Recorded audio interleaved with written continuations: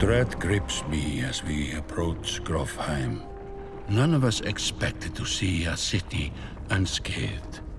But what we find steals the very breath from my lungs.